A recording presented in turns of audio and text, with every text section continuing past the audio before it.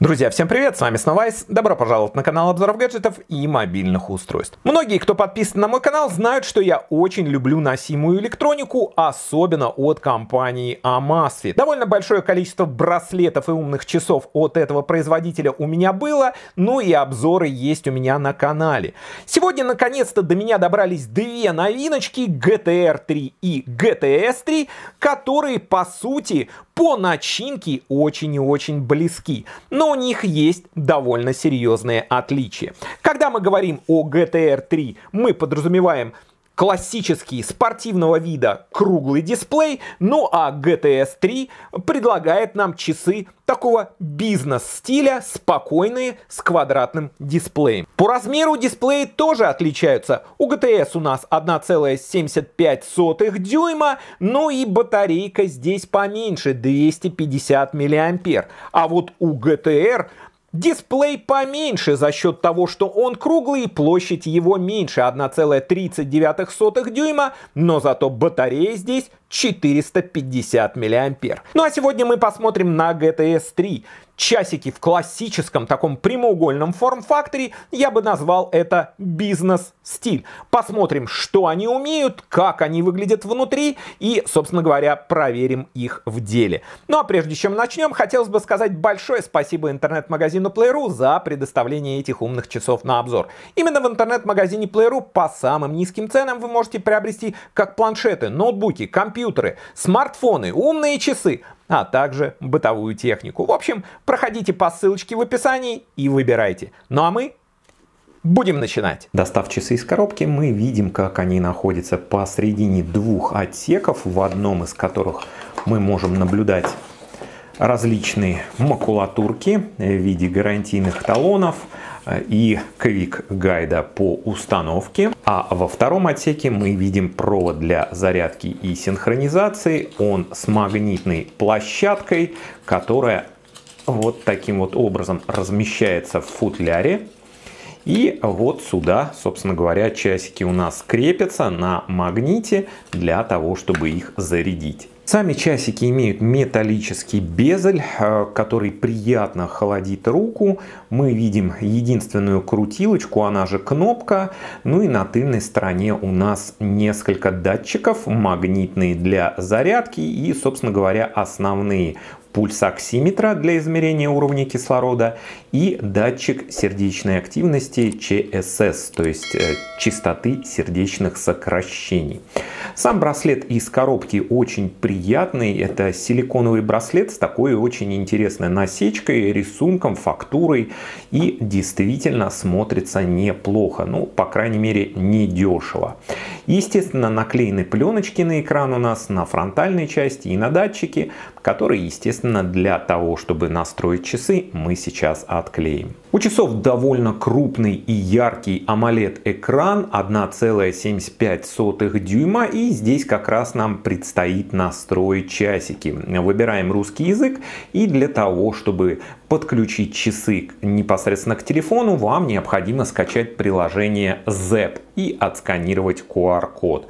Я сейчас это сделаю и вернусь к вам. Если мы сделаем свайп вниз, то мы попадаем в основные пункты настроек. Здесь мы можем включить и отключить автоматическую яркость, можем выкрутить на максимум и тогда дисплей становится действительно очень и очень сочным и даже в солнечный яркий день вы на улице не будете наблюдать какого-то дискомфорта, будет все прекрасно видно.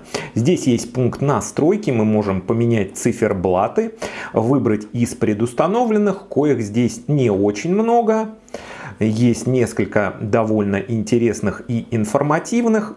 Но э, по большей части вы, конечно, можете скачать как кастомные э, watchface, так и watchface, которые есть в приложении. Ну, давайте, допустим, выберем вот этот.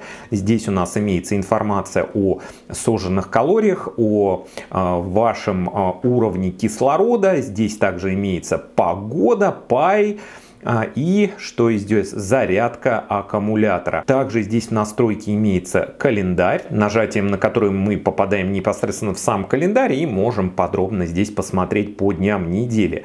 Но фишка данного календаря заключается в том, что здесь первый день недели это воскресенье на американский манер.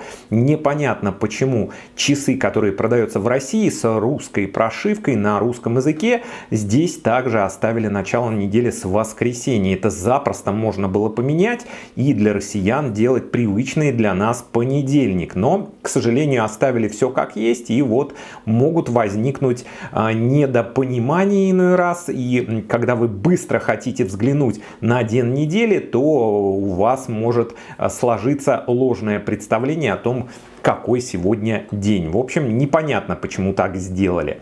Также здесь имеется функция «Не беспокоить». Мы можем отключить все уведомления и вас не будет беспокоить. Имеется возможность включить псевдофонарик. Понятное дело, что он не очень яркий будет, зажигается просто экран, но увидеть, допустим, замочную скважину вы всегда сможете. Есть у нас а, вот такой вот Always On Display, где мы можем включить вплоть до 20 минут. А, будет у нас включенным экран, не будет гаснуть. А, понятное дело, что это очень сильно расходует заряд батареи, о чем часы часы честно предупреждают, но тем не менее такая возможность у вас есть. Имеется режим театр, это аналог того же не беспокоить. У вас здесь просто уменьшается яркость и фактически при подъеме запястья загораться экран не будет. Но это то есть, условно говоря, уведомления приходить будут, будет проявляться вибрация, но вы не будете отвлекать рядом сидящих от зажигающегося экрана. Имеется возможность найти телефон. Очень вот такой вот у меня писклявый получается звоночек нажатием на эту клавишу.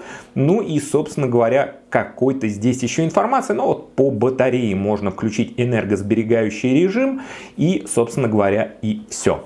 Свайпом вверх мы попадаем традиционно в уведомление. Эта фишка качует у нас из амасфитов в амасфиты. Ну, естественно, свайпами влево и вправо мы можем путешествовать по основным пунктам меню.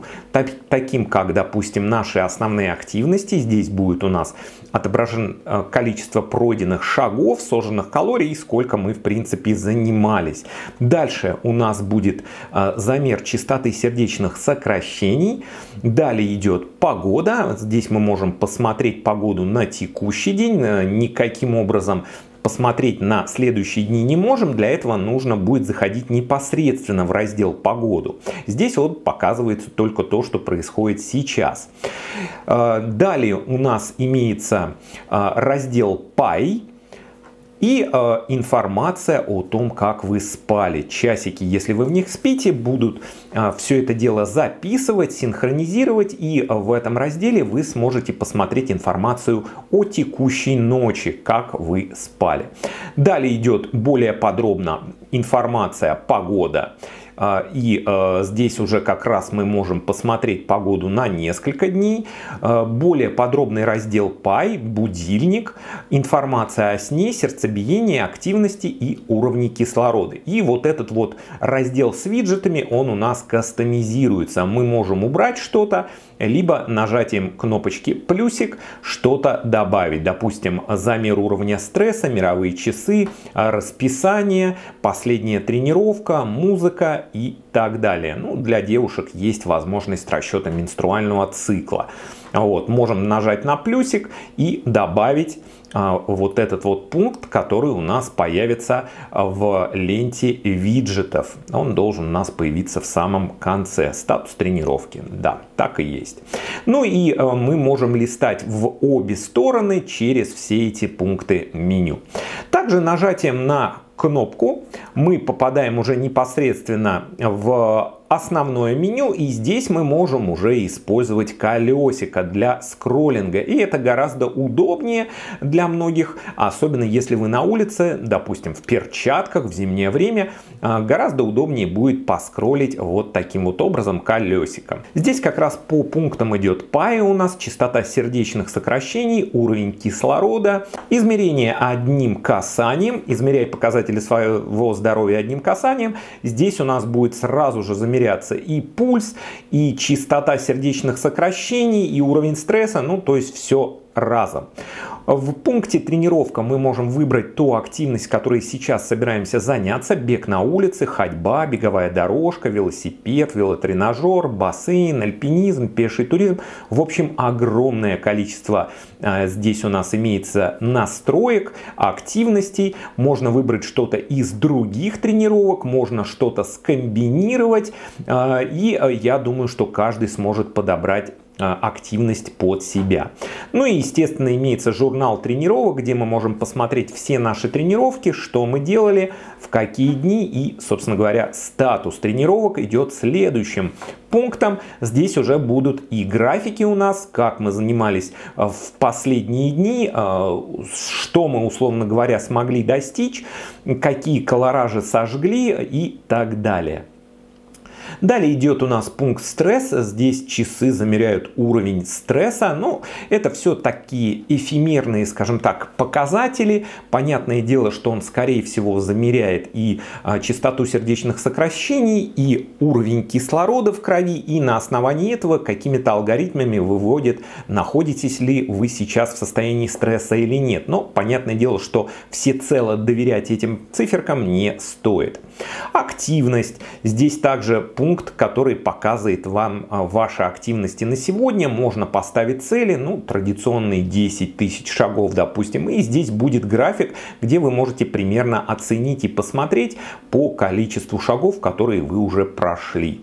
Далее идет пункт сонна, о котором мы уже говорили. Здесь можно более подробно как раз таки посмотреть, а, как вы спали. Здесь будет уже информация за несколько дней, за определенный определенный период, и вы можете сравнить показатели. Но понятное дело, что в любом случае это удобнее делать из приложения ZEP.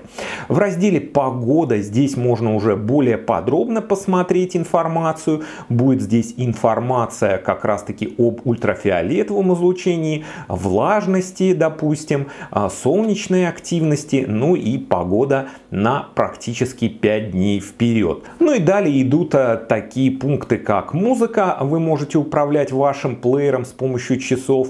Будильник. Здесь причем можно задать будильник непосредственно с часов, либо же включить-выключить текущие будильники. Календарь, который мы уже посмотрели который по какой-то неведомой причине начинается с воскресенья. Настройки, где можно выбрать циферблат э, по дисплею, выбрать период включения, настроить яркость. Уровень вибрации можно выбрать, вибрировать при э, входящих уведомлениях и вибрация при использовании колесика. Когда вы крутите, то действительно э, часики начинают вибрировать в такт. Это очень прикольно. Ну, тактильно ты ощущаешь, что действительно переходишь с пункта на пункт. Ну и здесь также имеется возможность дополнительных настроек не, настроек не беспокоить, э, информации по блокировкам, э, настройка удержания кнопки и так далее. Так что часики позволяют довольно точно кастомизировать все и настроить под себя. Аккумулятор здесь не самый большой, надо сказать. Здесь он всего лишь на 250 мА и Amazfit заявляют, что при обычном режиме работы у вас где-то его будет хватать на 10-12 дней. Ну а если вы будете довольно активно пользоваться часиками, то аккумулятора должно хватать на 5-7 дней. Я могу сказать, что в моем режиме, ну скажем так, я не очень активный, надо признаться. То есть я часы ношу именно как, э, скажем так, сигнализатор уведомлений, посмотреть время, посмотреть, как я спал, ну и проконтролировать, условно говоря, количество шагов пройденных. Особо спортом я с часами не занимаюсь, и вот в таком режиме 10-12 дней часики действительно живут, что неплохо. Что касается датчиков и э, насколько они точны. Давайте замерим уровень сердцебиения. И вот такие показатели в сравнении с традиционным пульсоксиметром. Плюс-минус одинаково. Ну и мы можем измерить уровень кислорода в крови. Ну и как мы видим, тоже плюс-минус идентичные цифры 97 на часиках и 98 на пульсоксиметре. В общем, часы показывают довольно точные циферки по частоте сердечных сокращений и по уровню кислорода в крови э, в сравнении с обычным медицинским пульсоксиметром. Так что этим цифрам и данным можно доверять. Что касается шагомера, то здесь э, погрешность составляет порядка 2-3%. И когда-то на тысячу шагов они могут добавить, допустим, шагов 10-15, когда-то не досчитать.